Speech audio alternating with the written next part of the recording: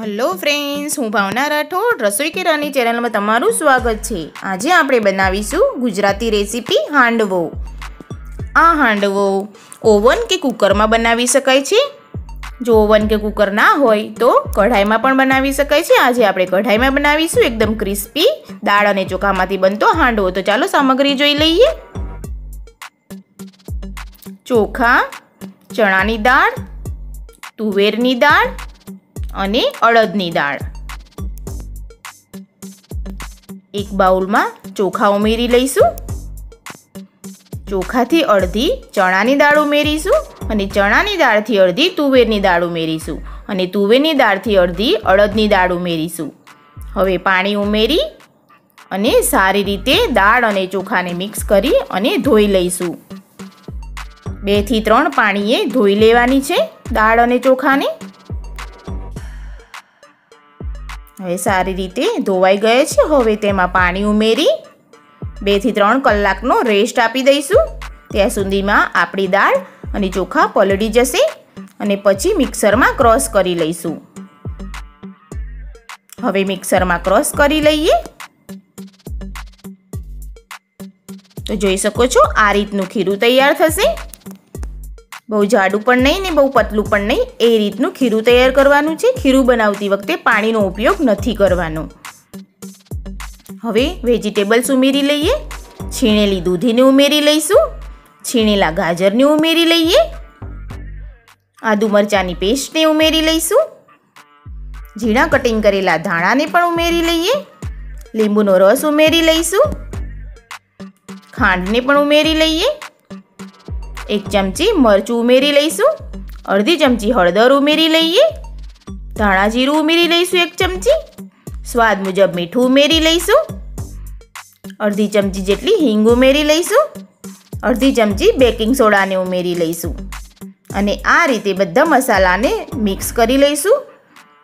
બધા વેજીટેબલ્સને મસાલાને આ રીતે મિક્સ કરી લેવાના છે અને સારી રીતે ફેટી લેવાના છે. હવે એક કડાઈમાં તેલ ગરમ થવા મૂકી દઈશું. બે પડી જેટલું તેલ મૂકીશું. હવે રઈને સાતડી લઈશું. જીરુંને પણ સાતડી લઈશું. કડી પત્તાને સાતડી લઈએ. બધા મસાલાને મિક્સ કરી લઈશું. હવે તલને ઉમેરી લઈશું. ને ઢાંકણ ઢાંકી અને તલને ફૂટી જવા દઈશું. તો હવે આપણા તલ સતળાઈ ગયા છે. મિક્સ કરી લઈએ બધા મસાલાને. હવે બેટરને સેટ કરી લઈશું આ રીતે. જે રીતે આપણે પુડલા બનાવીએ છીએ એ રીતે બેટરને સેટ કરી લેવાનું છે. જો તમારે જાડો હાંડવો ખાવો હોય તો બેટર વધારે ઉમેરી શકો છો. જો તમારે નોનસ્ટિક કઢાઈ ના હોય તો તમે સાદી કઢાઈમાં પણ આ હાંડવો બનાવી શકો છો. હવે ઢાંકણ ઢાંકી બેથી ત્રણ મિનિટ સુધી કૂક થવા દઈશું. અને હા, ખાસ ધ્યાન એ રાખવાનું છે કે ગેસની ફ્લેમ લો જ રાખવાની છે. તો જોઈ શકો છો તમે. હવે આપણે હાંડવાને ફેરવી લઈશું. હવે ધીરે રહી અને પલટાવી દઈશું હાંડવાને.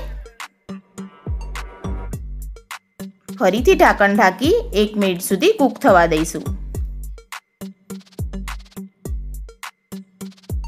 તો જોઈ લઈએ આપણો હાંડવો બની ગયો કે નહીં. તો આપણો હાંડવો બનીને તૈયાર થઈ ગયો છે. તો ફટાફટ બની જાય છે આ હાંડવો. હવે આપણે એક ડીશમાં લઈ લઈશું. તો છે ને એકદમ સહેલી રીત હાંડવો બનાવવાની. તો આ રેસીપી તમે પણ બનાવો અને મને કોમેન્ટ કરો કેવી લાગી આ રેસીપી.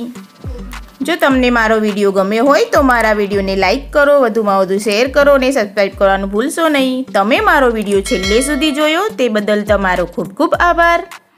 આજે બસ આટલું જ. ફરી મળીશું એક નવી રેસીપી સાથે. Thank you